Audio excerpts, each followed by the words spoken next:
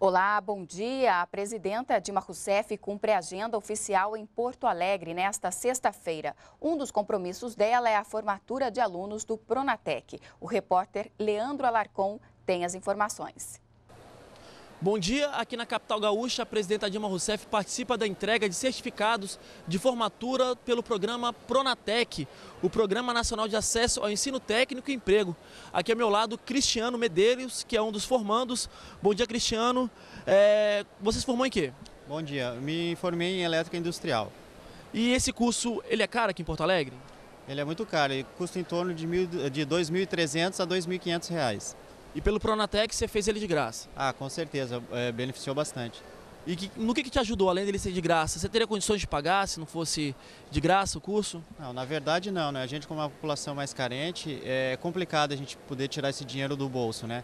E é muito, foi muito gratificante porque é um, é um curso que visa melhor é, a nossa estabilidade no, no, na área profissional. Lá, pois é, na área profissional, lá fora, você espera conseguir um emprego rápido com esse diploma? Com... Ah, com certeza. As empresas aqui do, do, do, Brasil, em si, do país, né, tem muita dificuldade em mão de obra e a gente, com esse perfil, a gente com certeza o nosso currículo vai ficar bem, bem mais empregado. Você acha que vai abrir as portas, então?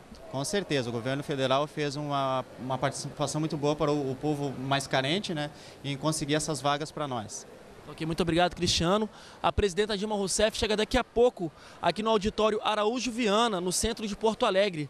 Aqui nesse evento também vai ser feita a repactuação do programa Brasil Sem Miséria com o estado do Rio Grande do Sul. Malu.